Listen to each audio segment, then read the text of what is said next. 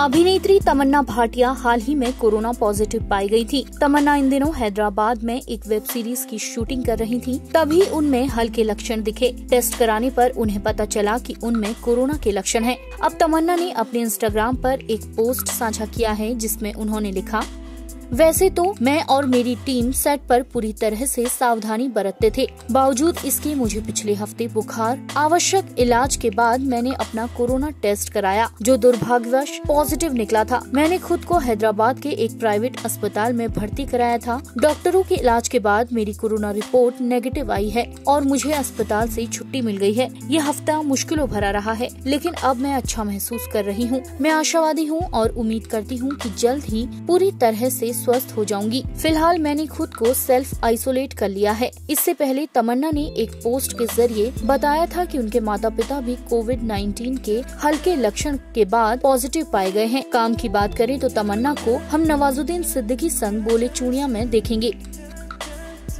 INS report